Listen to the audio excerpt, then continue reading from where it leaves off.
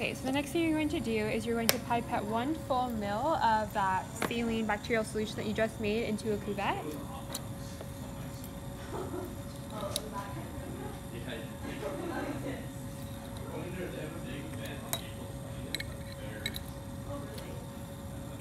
And make sure to grab the cuvette by the ridge side and not by the clear side.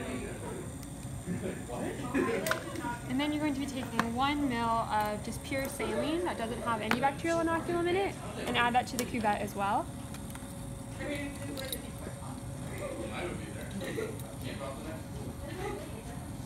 definitely made a mistake though when we signed up for a more like intermediate maintenance class.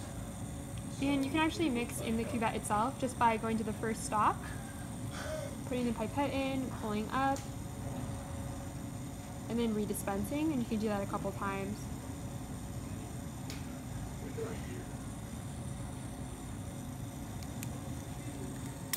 And then we're going to read this in a spectrophotometer at 600 nanometers. It's already been blanked with clear saline.